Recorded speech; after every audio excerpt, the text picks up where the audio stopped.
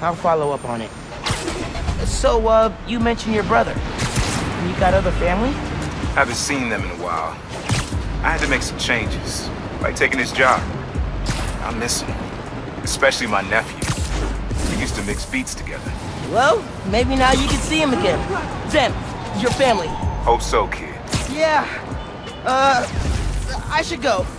Fight underground. Bye.